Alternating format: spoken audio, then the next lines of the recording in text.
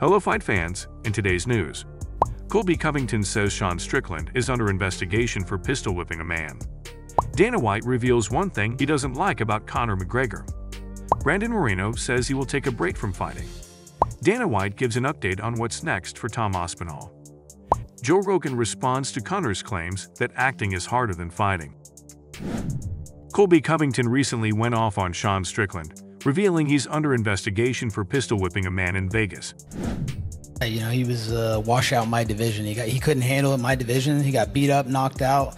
You know, so he had to leave divisions because he couldn't cut it. So, you know, I think he's a bum. He's been hit in the head too many times. He's got CTE. So straight up, yeah, straight up. Anything that guy says, you, you can't follow along. That guy's gonna end up literally probably killing someone someday. He's under investigation right now in Vegas. Some drunk uh, guy was wandering the streets in Las Vegas, like near his home. He goes outside the home, pistol whips the dude in the middle of the street and so he's under like cr- crazy investigation in, in, Vegas right now. He's going to be going to court. So wow. we're really going to take that guy's opinion on something. Dana White recently revealed the one thing he doesn't like about Conor McGregor. The only issue bothering Dana is that Conor is always late and he never makes it on time. Other than that, he praised him for being an excellent business partner. Here is what he said. Conor McGregor has been an incredible partner to work with. Everybody thinks that Conor, if Conor showed up to things on time, yeah. there wouldn't be one fucking bad thing I could say about yeah. Conor. So you know what I mean? Only being late. if shit. if you fucking said, you put a gun to my fucking head, right, and said, "Don't lie, motherfucker. Tell me all the bad things about Conor McGregor," I'd say the guy doesn't show up on time.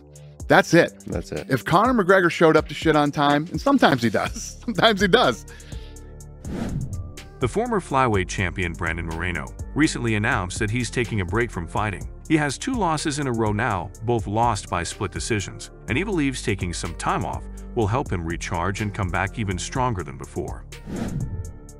I feel like I'm at a point in my life where I'm putting in the work.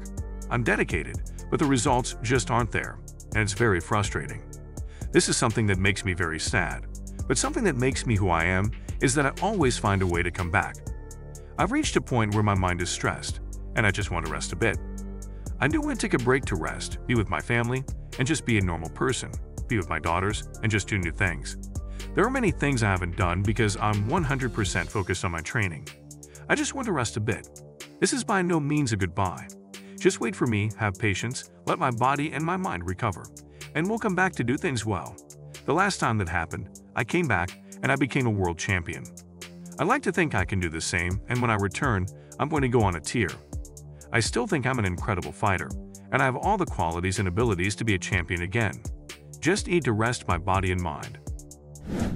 Dana White recently provided an update on the heavyweight title situation. He said that Jon Jones will fight against Stipe Miocic next, and Tom Aspinall will defend his interim belt against another opponent. Listen, Jones is set to fight Stipe. I hope the winner of that fight will fight will fight Tom. And can we do that in England if, if, if that happens? Yeah, we'll see. yeah, we'll see. Fingers crossed. Yeah, I agree. Talk to me about defending an interim title for, for Tom Aspinall. We haven't seen it before in the heavyweight division. Is that something that we could see in 2024? Well, yeah, I mean, if you think right now it's March, right? Who knows?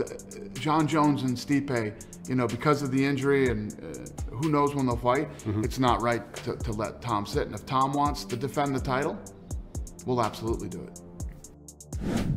Joe Rogan responded to Conor McGregor saying that acting is harder than fighting.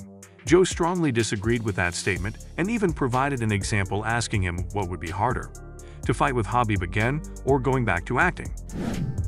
Acting is harder than UFC because he's in Roadhouse that was a quote from Conor. Oh, really? Acting is harder than UFC. Listen to me. Well, that's not for true. him. J-Mo. That's not true. Because he trained UFC him. his whole life. Okay, act in Roadhouse or fight Khabib again. Shut the fuck Ooh. up. Well, that yeah. is crazy talk.